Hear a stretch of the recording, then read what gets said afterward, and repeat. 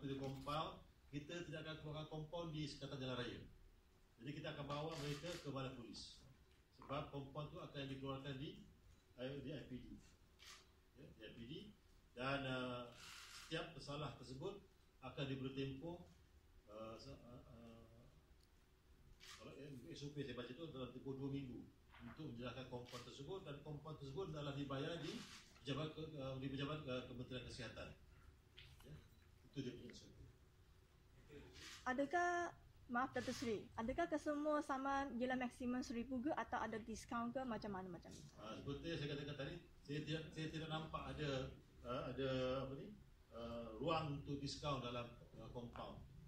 Ya, tetap ada seribu. Baik. Ya. Uh, masih lagi seribu ringgit.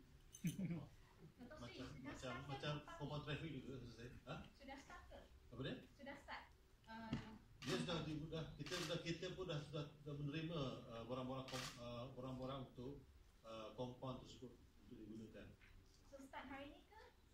Uh, sudah setelah saya last week. Last week. Last week kita telah menerima. So far kita belum saya belum dapat maklumat lagi mengenai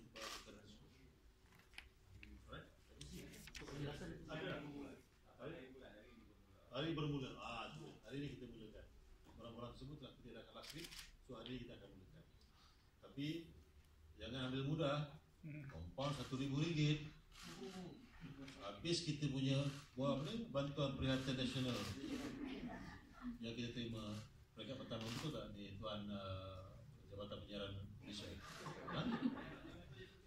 Dapat 200 saja. Saya tengok dia ada tiga ada tiga tiga tier. Ada ada 1006.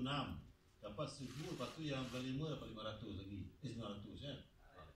Kalau dapat 1000 yang pertama kali habis. Yang dapat 500 kena top up lagi. Ha. So tak tak tak ada dia punya tak dia berikan kita berbaloi lah untuk membuat kesalahannya. Okey, terima kasih semua sekali. Penjelasan Saya ada terima surat peringatan daripada siapa surat? Apa dia?